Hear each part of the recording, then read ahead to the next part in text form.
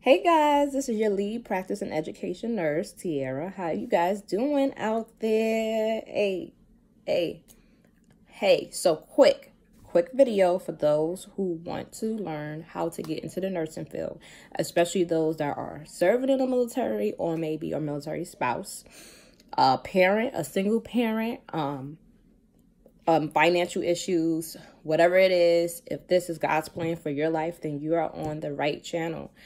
I am going to do a quick video on just information that I wish I known before I was even got started on this journey.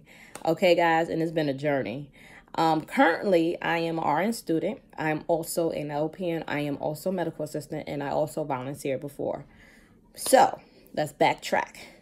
Let's take it back. I'm now stationed in Virginia. I am not the one serving. My husband is. We've been married for 12 years. We have three children, two boys and one girl, 11, 9, and 2. Um, we've been married for 12 years. He is a wonderful man, but anyway, that'll be another another channel. Um, so yeah, we have moved at least three, four times, I want to say, throughout his career. He has deployed three times. So, yes, there was challenges, but it could be done. And let's just start here. I am the type of person that don't have nurses in their family. Uh, not a lot of people in the medical field in my family, so a lot of pressure was is still on me to perform academically and you know there's some haters that i you know attracted but hey that's life.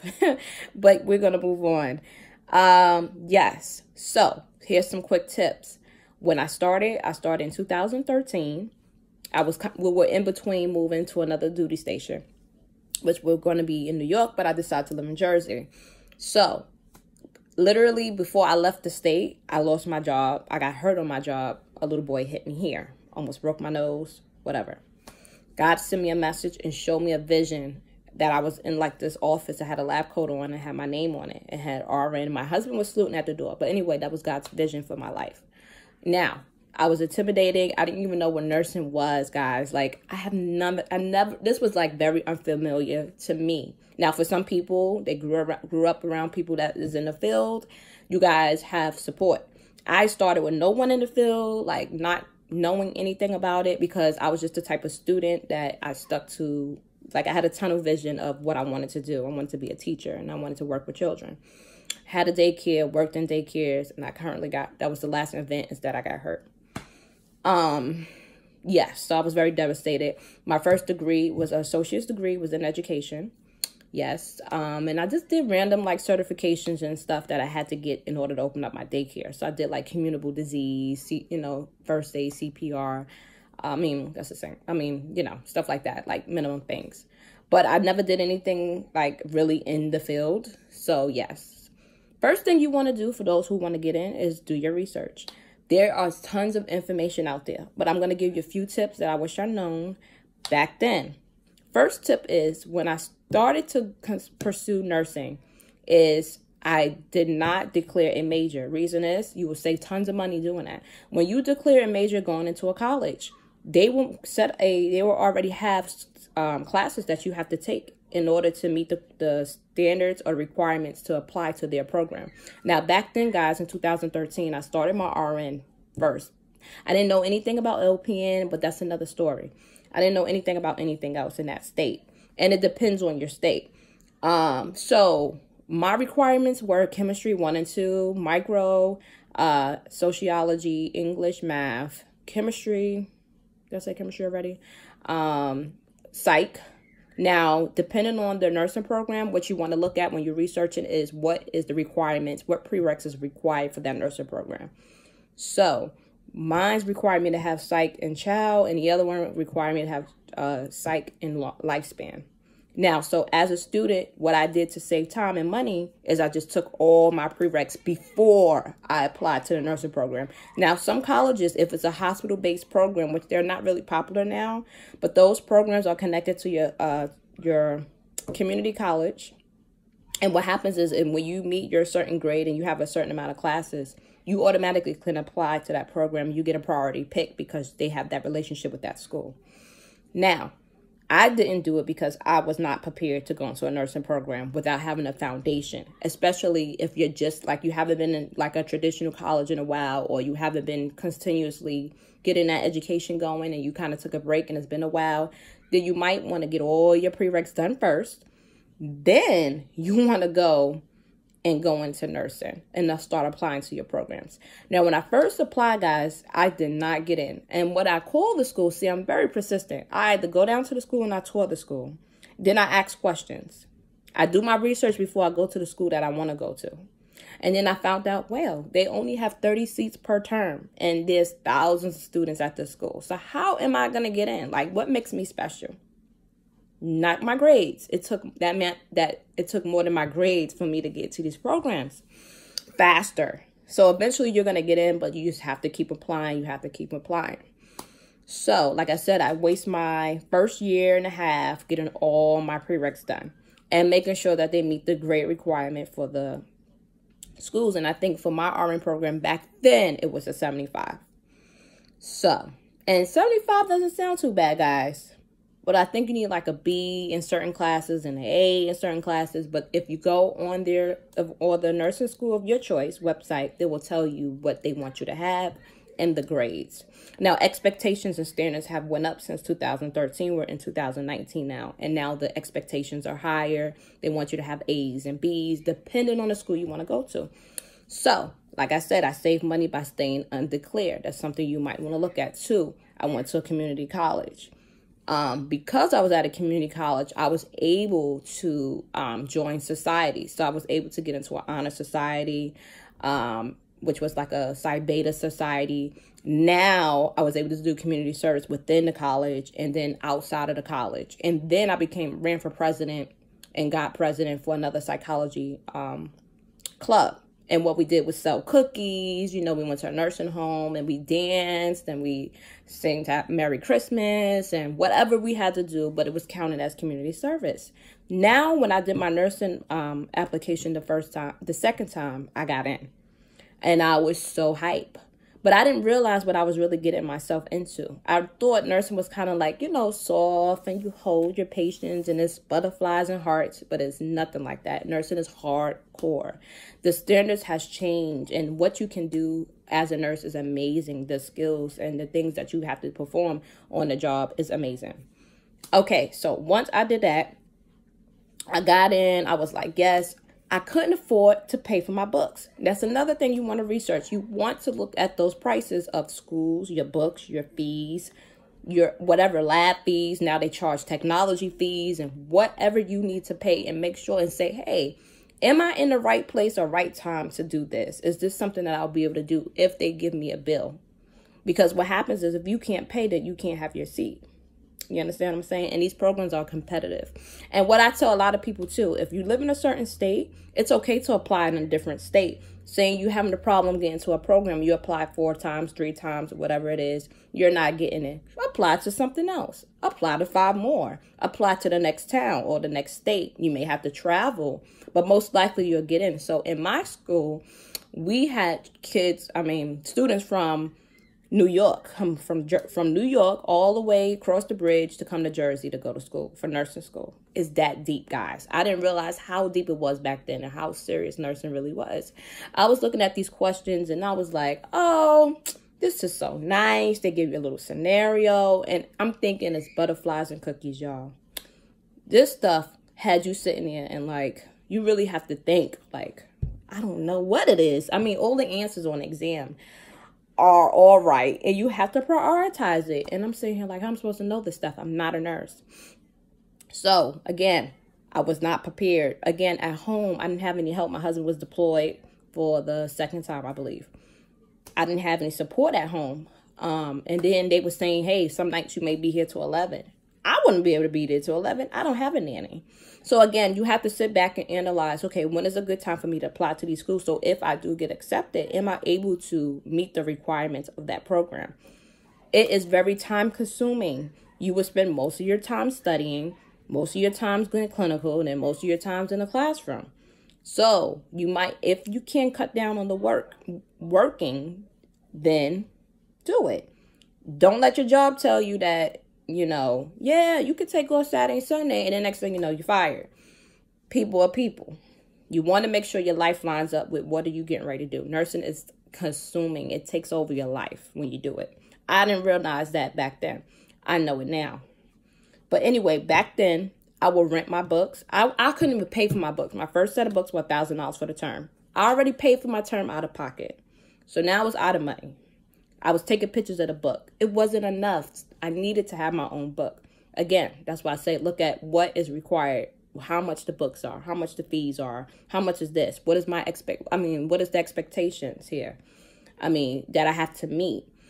Um, but anyway, long story short, that first term, I didn't even make past the first term. I got like a 74.8. I wasn't even like a point away. And that was with like moderate effort to study. I didn't realize how much studying time I really had to put in. So I thought they'd get points for attendance or like, you know, I didn't even needed a point. I needed like a part of a point. You know what I mean? So I was act my teacher called me, she was upset. She was like, You're gonna be an awesome nurse. It's just that we don't get points. You will have to come back and try again. And then my husband was getting ready to move again and I couldn't try again. And I was so devastated. I was so hurt because I was like, God, you said this was for me, so why is it not happening?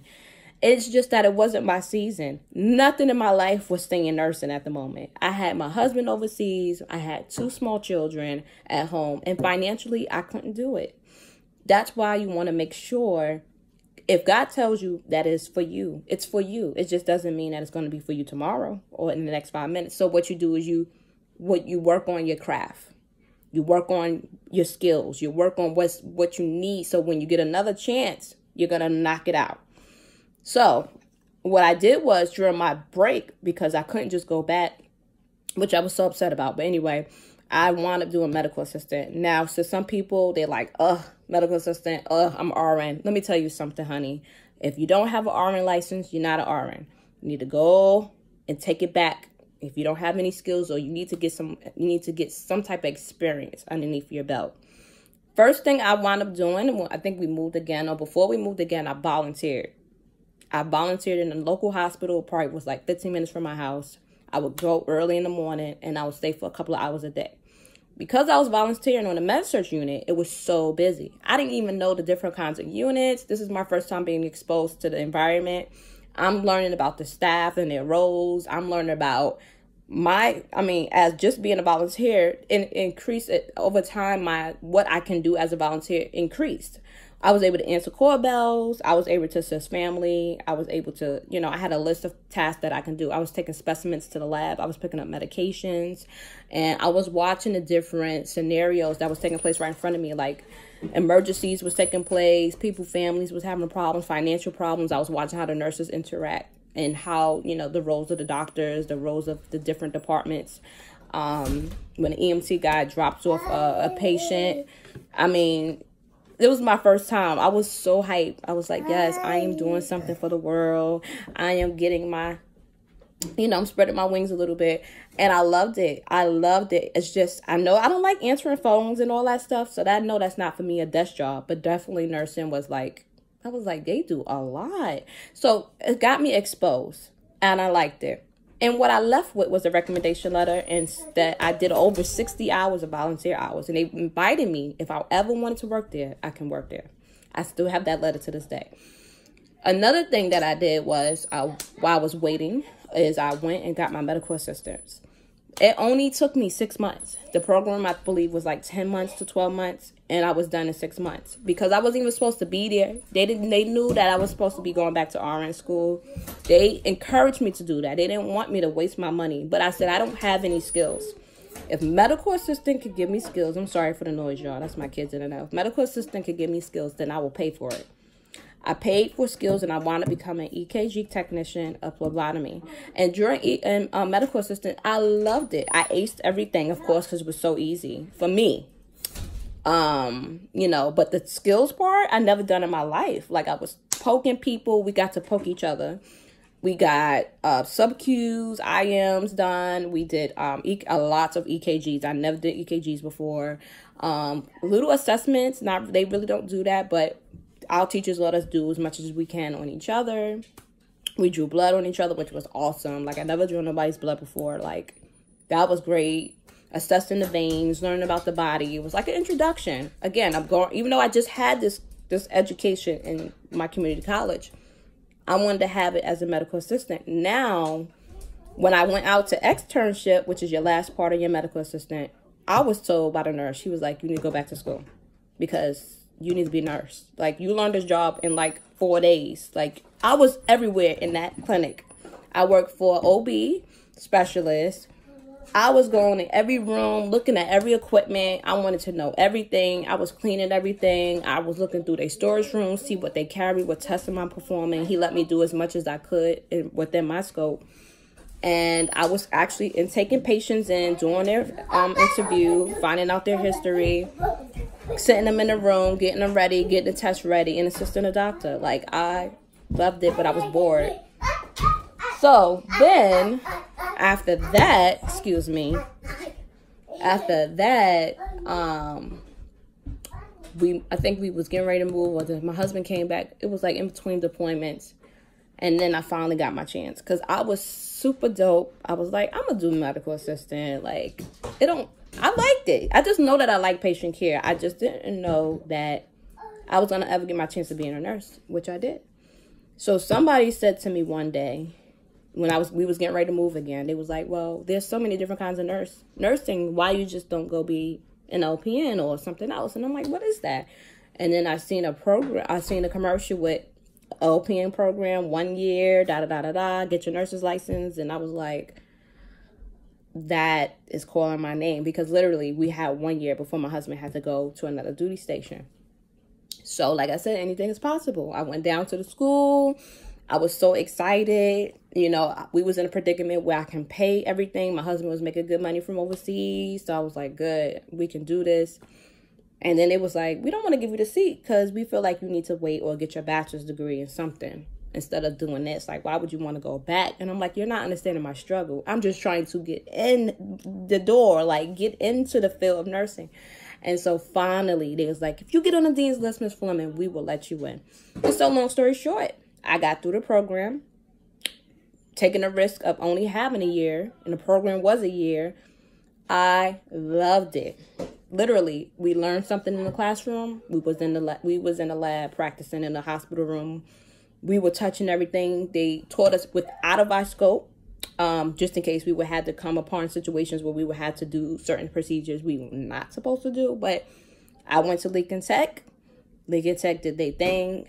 I felt competent in my skills as an LPN. I was able to do wound care, trach care, Foley's. I mean, everything, everything. We looked at central lines, PICC lines. I mean, you name it, we did it. Then we had our skills lab as well, which is, I mean, a Sims lab as well, as well as like a seminate. They had like a dummy that gives birth or like can talk blank, give, do all types of stuff. And you're given a scenario as the primary nurse to go in and to, to perform like if this is a normal situation. And it's usually like an emergency thing that happens and you have to do your emergency assessment and take care of the patient, treat the patient and call the doctor. So they also have that. So I was feeling dope. Like throughout the program, my grades were awesome. I was only thing I was failing, only thing I was about to fail was mental health. I was not getting it. I was not really a fan because I wasn't exposed to it. I never been to a facility before and all this. And I'm like, why did I know not know about LPN? Like people sleep on LPN, but LPN basically gave me that foot in the door. The thing that I needed, I needed a license and I wanted to become a nurse. LPN gave me that. Not only that, I got it in one year. It was expensive, but I was in a predicament where my children had somebody to watch them. They were in after school. I had a backup sitter.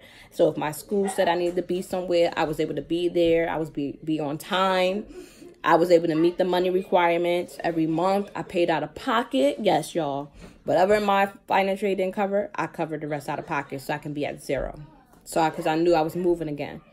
At the end of the day, I did my boards. I moved to another state. So now for those who move to another state in between a nursing program or get ready to move before they graduate and get ready to take their boards, I can do another video on that. I was in that situation. I spent my last term in school looking for a house on base in Georgia, looking for um, doing the paperwork. So I, my focus was shifted because I'm like, now I'm getting ready to move, but I'm about to graduate. I was super hyped. I met so many great people. Um, and I hate to move. I hate the lifestyle of moving, moving, moving, but that's our lifestyle. That's what pays the bills. So I ended up taking my boards and passed it on the first try. And now I'm an RN student. I graduate next March 2nd, 2020. I'm super excited. I will do another video about this. Um, but I just wanted to give those tips out there and encouragement out there for those who really know that this is for you and you just don't know how. You just not those questions you have, you're not getting answered. You're just getting a whole bunch of information. And now there's technical programs. Those pro I'm in a technical school now and I love it. I love the technical school I am in now. Um, it's fast paced. I'll be RN in 18 months. Um, it's five weeks of term. That's it. And I'm like getting it. I'm getting it. I'm getting it. I got my chance. So God doesn't doesn't lie about his promises. It's just at the time and it's not your time and his time it doesn't match. So you have to wait. And that waiting period is the hardest thing you could do because then within that waiting period you can either give up or you can either work on your craft, work on whatever it is to get you to that point. Because you're gonna get another situation where the doors are gonna open and you're, guess what? You're either prepared or you're not prepared to step through. So I'm prophesying to those who's on here that definitely know that nursing is for you. Wait for your time. Because when your time comes, everything's going to work out. Why I say that? My time now for my RN, I pay nothing out of pocket. Zero dollars. Zero out of pocket. Zero. I'm not, and only, not only that, God bless me with that ability, but also my BSN is covered. Zero dollars. All I have to do is show up to school. Not only that, my husband decided to be home and switch to reserve for now. And I have somebody watching my three kids.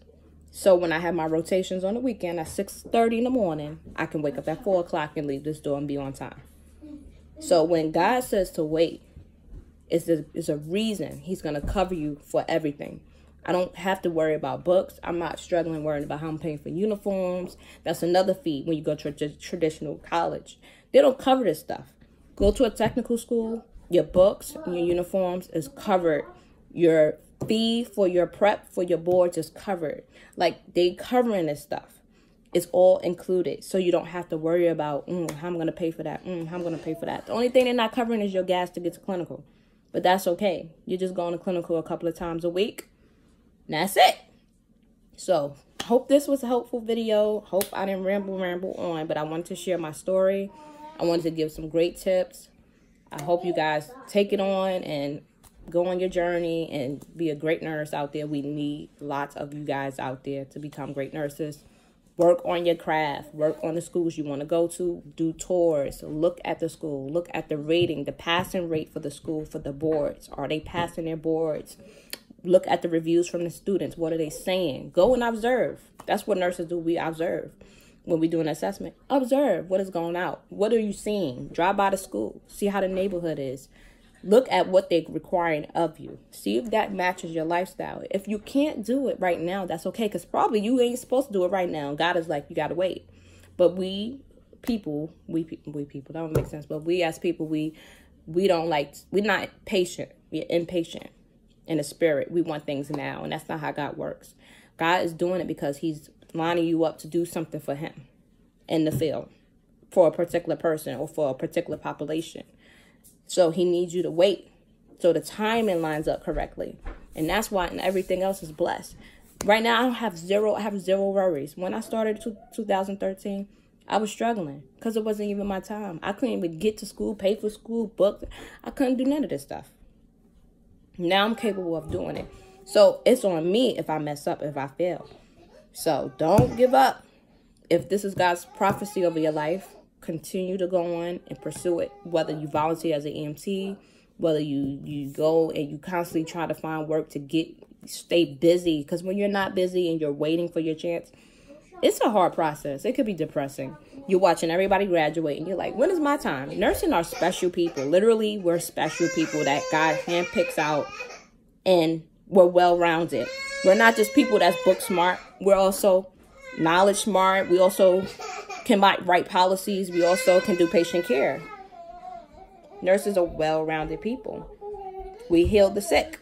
So people who heal the sick can't just rush to do that. That's not something, that's not a type of job that you can just rush to college and get a degree and go do it. It takes heart. Y'all got it. So this was my channel. I will be doing lots of new videos, more videos to educate everybody out there. Hopefully I'm a good leader and I'm not saying anything that's making anybody feel some type of way. But as a mom, y'all hear that? I got to go and I'll see y'all later.